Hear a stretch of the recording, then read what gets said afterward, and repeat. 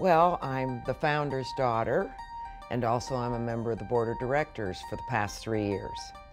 It's rather an interesting story of how he started his own businesses. He worked for another pharmaceutical company, and he did so well in his territory that the president cut back his territory. My father quit and said, I'm going to start a company where that never happens. And that's how Marion Laboratories began. His philosophy about business, it wasn't the money that he was trying to make. The money just came as an accident. It was the kind of a business he wanted to begin. And I think that's the big thing about entrepreneurs is it really isn't the money that they're out to make in the beginning. It's the business and moving ahead with the business. Some of them don't even have time to fool with the money. I learned everything from my dad. I took everything I could and I've tried to keep it all because he was the smartest man I ever met.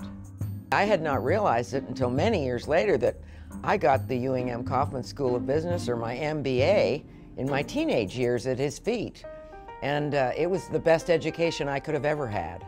What really drove him was giving back.